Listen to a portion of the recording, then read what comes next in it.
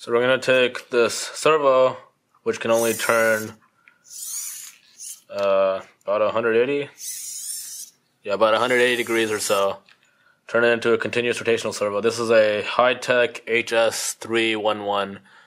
The difficulty and the issue is that you can find really, really high torque servos that turn only 180 or 270, but you can't find high torque continuous rotational servos uh, or just motors, right, where you can control the speed. Um, you can't find high torque, you know, versions that are in this casing as you would a normal servo. So there's a hack that's out there um, where you can make it a continuous rotational servo if you just get rid of the potentiometer. So first thing is to get rid of uh, the screws holding it in.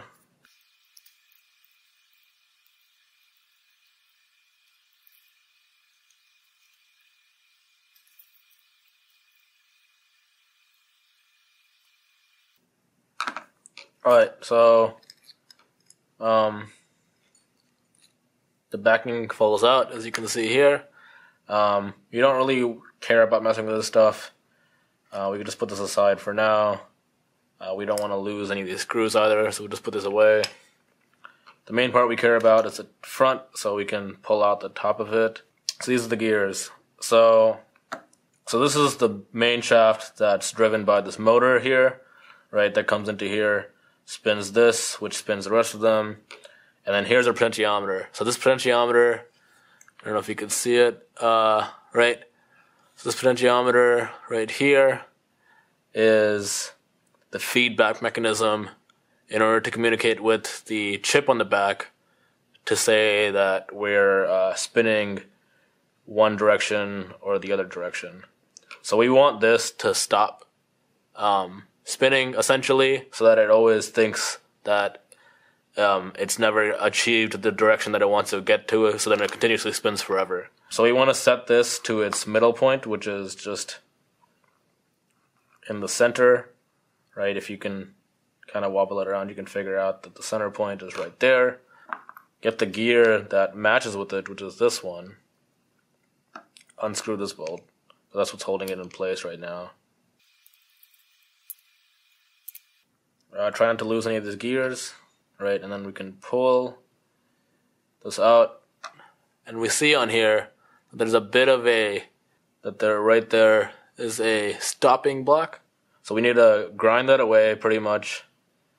Um, and then grind this tip away so that these two don't mate anymore.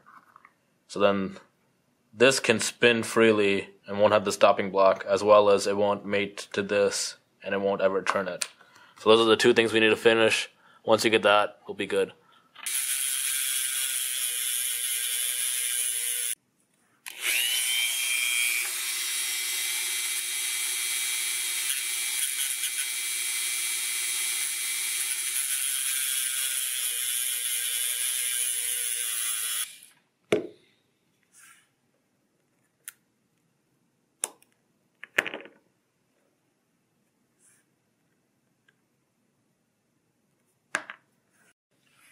So we can put this on here, sprints freely, and no change to that. So now the last step is to blow away all the chunks that might be left.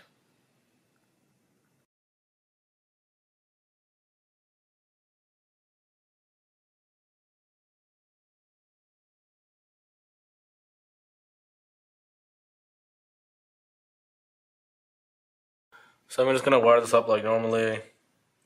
Uh, I'm gonna use yellow for power, uh, white for signal, um, and then green for ground um, as my pins.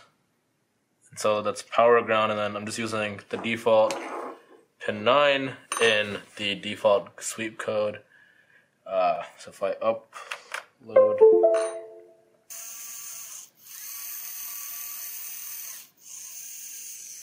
As you can hear, there's like a lot of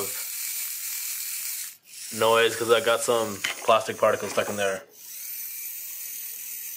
but it's a 360 rotational servo.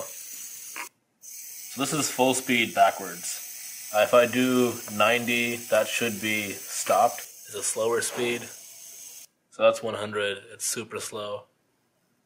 Uh, spinning 180. Okay, so that means that the potentiometer wasn't fully aligned in the middle when we closed it, but that's okay.